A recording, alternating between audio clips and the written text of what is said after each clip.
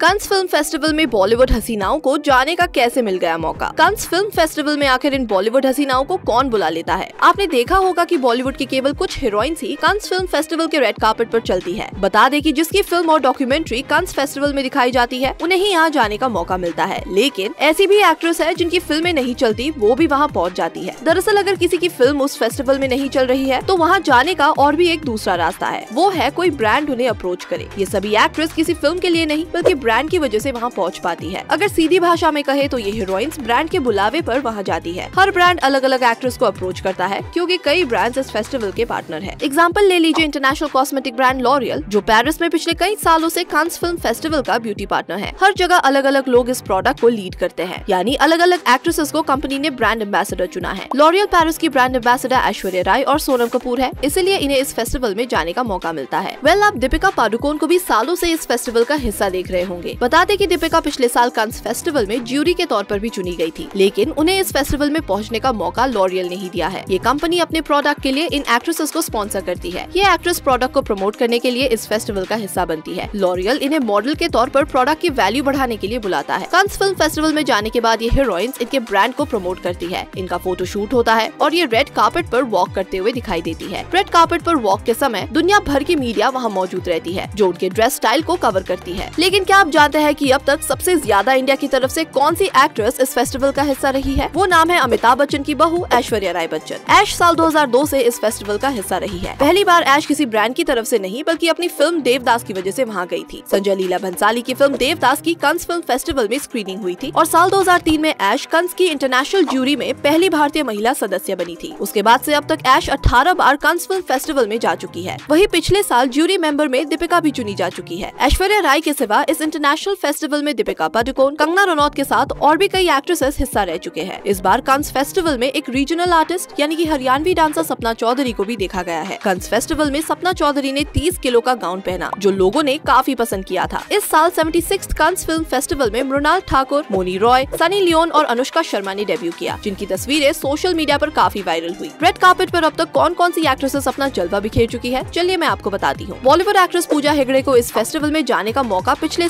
यानी कि 2022 में ही मिला है। इसी साल पूजा हेगड़े पहली बार इस फेस्टिवल में रेड कार्पेट पर नज़र आई थी। इन्होंने स्ट्रैपलेस गाउन पहना था, जिसकी लंबी फेदर स्कर्ट थी। पूजा का गाउन इंडिया में ही बनाया गया था। पूजा की तस्वीरें सोशल मीडिया पर काफ़ी वायरल हुई थी। साल 2022 में ही साउथ एक्ट्रेस तमन्ना भाटिया को भी पहली बार इस फेस्टिवल में जाने का मौका मिला था। पहले दिन तमन्ना भाटिया एक खूबसूरत black and white designer bubble gown में नज़र आई थी और दूसरे दिन तमन्ना ने black thigh high slit dress carry किया था। हेली शाह भी साल 2022 में पहली बार कंस फ़िल्म फेस्टिवल में पहुँची और रेड कार्पेट पर वॉक करती नज़र आई। हेली शाह का ये पहला कांस फ़िल्म फेस्टिवल था। हेली शाह ग्रीन रंग के बेहद खूबसूरत गाउन में रेड कार्पेट पर पहुँची थी। हेली अपने फीचर फ़िल्म काया पलट के पोस्टर लॉन्च के लिए कांस फ़िल्म फेस्टिवल में गई थी। बॉलीवुड एक्ट्रेस अदिति राव हैदरी भी साल 2022 में कांस फ़िल्म फेस्टिवल का हिस्सा रही। अदिति ने डार्क पिंक कलर का एक गाउन कैरी किया था, जिसमें वो पिंक हील्स और न्यूड मेकअप में काफ़ी खूबसूरत लग रही थी। अदिति राव विधवो की तरफ़ ऐसी इस फेस्टिवल का हिस्सा बनी थी। एक्ट्रेस हिना खान भी कंस फ़िल्म फेस्टिवल में काफ़ी खूबसूरत नज़र आई थी। हिना को पहली बार साल 2019 में कंस फेस्टिवल में जाने का मौका मिला था। हिना ने रेड कार्पेट में पिंक कलर का लॉन्ग गाउन कैरी किया था। इस ड्रेस में हिना काफ़ी सुंदर लग रही थी। खास बात यह है कि एक्टर नवाजुद्दीन सिद्दीकी को भी कंस फ़िल्म फेस्टिवल में जाने का मौका मिला है। पहली बार साल 2022 में नवाजुद्दीन कंस फेस्टिवल के रेड कार्पेट पर नज़र आए थे। ब्लैक सूट में वो काफ़ी डैशिंग लग रहे थे। वेल सोनम कपूर भी इस फेस्टिवल का हिस्सा रह चुकी है। सोनम के हर लुक को फैंस ने काफ़ी पसंद किया है। सोनम को तो वैसे भी एक फ़ैशन आइकॉन माना जाता है। वैसे ज़रूरी नहीं है की कंस फेस्टिवल में हिस्सा ले रहे सभी एक्ट्रेस की लुक को लोग पसंद ही करते हैं। प्रियंका चोपड़ा के इस लुक का लोगों ने काफ़ी मज़ाक बनाया था। वो अपने इस लुक के लिए काफ़ी ट्रोल भी हुई थी। तो दोस्तों, ये थे कुछ नाम जो कंस फ़िल्म फेस्टिवल का हिस्सा बने हैं। आपको इनमें से किसका लुक सबसे ज़्यादा पसंद आया, हमें कमेंट सेक्शन में ज़रूर बताइए।